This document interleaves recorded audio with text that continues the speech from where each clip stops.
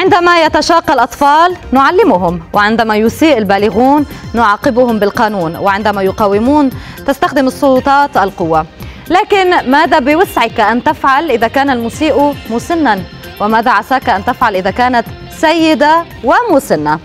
هذا حدث غربي أو هذا ما حدث غربي روسيا مع هذه السيدة العجوز التي رصدتها كاميرات المراقبة في المبنى الذي تقطنه وهي تقوم يوميا بأفعال فوضوية في المبنى بكامله. فهي تقوم ببعثره بريد البناية ثم تحمل دراجة جارها وتضعها خارج المبنى ومن ثم تنشر الفوضى في كل مكان ومن دون سبب. فما التصرف الطبيعي؟ اتصل سكان العمارة فعلا بالشرطة لكن حتى الشرطة لم تستطع القبض على هذه السيدة لأنها وببساطة أغلقت الباب في وجههم.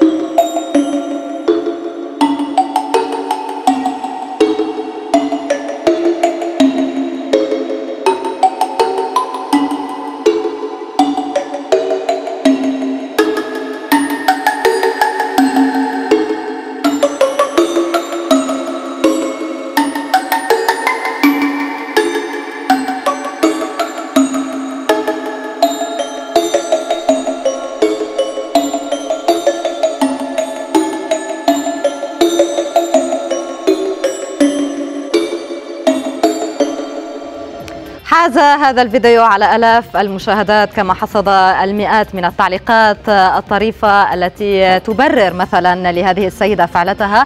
كبدر الذي قال أكيد سكان العمارة زعجينة فهي بترد لهم ماذا فعلوا أواها الله هذه العجوز.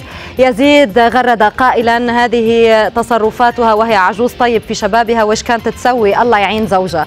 مصطفى برر أيضا ما تفعله السيدة قائلا. عادة هذه الحالات تصدر من الأشخاص الذين يعانون من الوحدة لذا يصدرون تصرفات غريبة كي يفتقدوا في حال في حال توق... يفتقدوا عفوا في حال توقفها.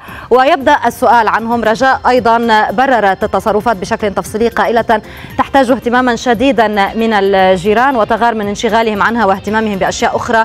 تبدأ بالبريد والدراجة وهي وسائل التواصل غالبا في نظرها. إذا هذا كان كل شيء لهذا المساء. إلى اللقاء في الغد.